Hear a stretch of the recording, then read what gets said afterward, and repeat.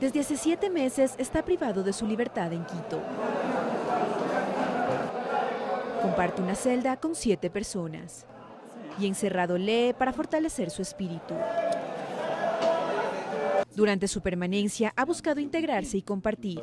Por eso da clases de inglés y a cambio recibe clases de español. Aprendí las oraciones básicas, lo que es Where are you from. Repetir. To enjoy traveling. ¿Qué es más importante?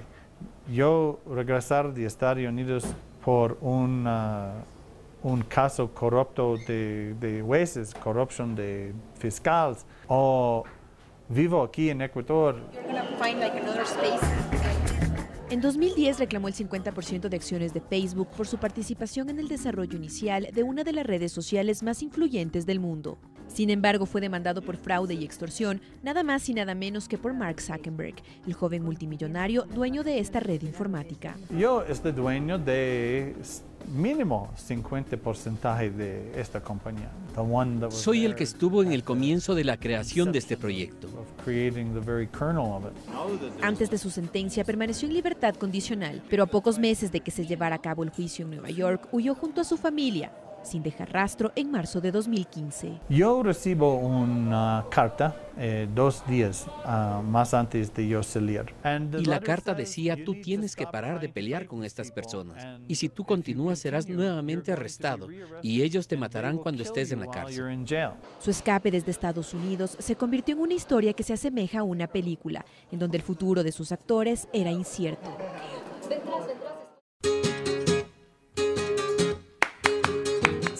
Nueva York disfrazados de Amish, miembros de una comunidad etno-religiosa hacia la Florida. Desde ese punto, su viaje a Ecuador duró seis semanas. Partieron en un velero comandado por el mismo Seglia. Atravesaron por Cuba, Panamá y llegaron a Cartagena, en Colombia. Desde ahí tomaron un bus hasta Rumichaca, frontera norte con Ecuador. Mi nombre es Paul Seglia, necesito asilo político. Y dice, no es posible aquí. So, yo entré a Ecuador eh, sin pasaportes. Y es así que se atrevieron a llegar al mismo palacio presidencial. Sí, señor, gracias por... Yo escribo tus papeles. Este gringo loco.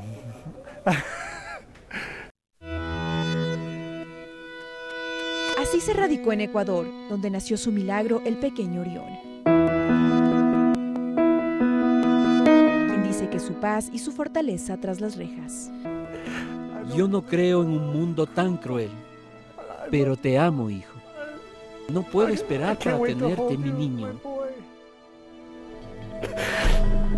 Esta es la verdad de Paul Seglia, en medio de acusaciones legales de parte y parte con Mark Zuckerberg, propietario de Facebook.